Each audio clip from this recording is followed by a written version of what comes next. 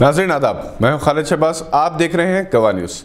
جہیز کی لانت کو معاشرے سے ختم کرنے کے لیے تحریک مسلم شبان نے اصلاح معاشرہ ٹاسک فورس کی تشکیل کا اعلان کیا، جو محلہ واری سطحوں پر عوام میں جہیز کے خلاف شور بیداری اور ذہن سازی کی ریاست گیر مہم چلائے گی۔ اس کے علاوہ شادی خانوں کے روبرو بیجا اسراف اور لین دین کے خلاف پرامن اور مخالف جہیز ناروں کے پلے کارڈز کے ساتھ خاموش مظاہرہ کرے گی۔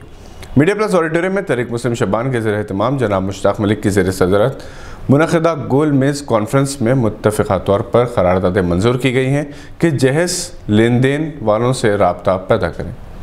محلہ واری سطح پر کمیٹیاں بنائی جائے کمیٹی کے دفتر یا مسجد میں طلب کر کے ان کے قلب کی تطہیر کا کام کیا جائے۔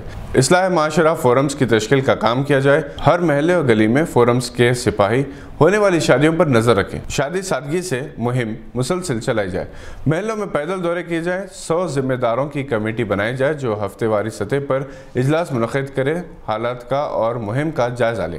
علماء مفتیاں کی رہبری سے ہی یہ جدوجہد کی جائے۔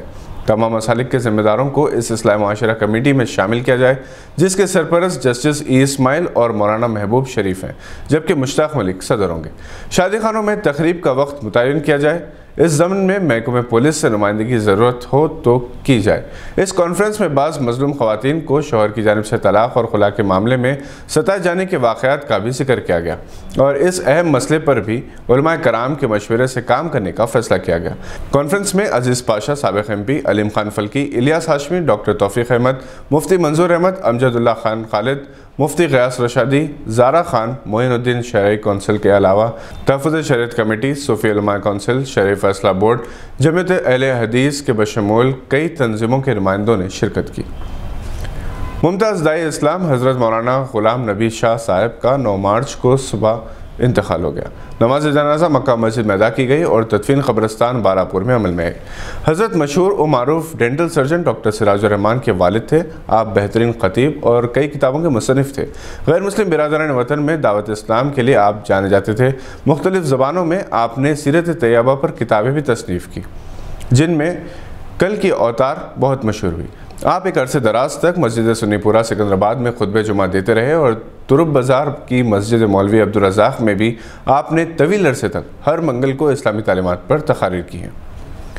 سمی کے ایک سو بائیس مسلم کارکنوں کو بیس سال بعد صورت کی عدالت کی جانب سے بے قصور قرار دیے جانے کے فیصلے پر ملے جلے رد عمل کا اظہار کیا جا رہا ہے۔ جب مقدمہ دائر ہوا تھا تو یہ نوجوان تھے۔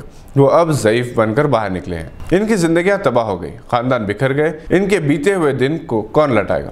متحدہ آندھر پردیش میں وائی ایس آر حکومت نے ملزمین کے بے خصور ثابت ہونے پر پانچ پانچ لاکھ روپے بطور ہرجانہ ادا کیا تھا۔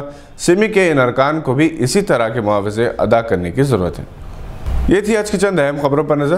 اگر آپ نے ابھی تک ہمارے چینل کو سبسکرائب نہیں کیا تو اسے لائک اور سبسکرائب ضرور کریں۔ ہم پھر حاضر ہوں گے ایسی کچھ خبریں لے کر، دیکھتے رہیے گواہ۔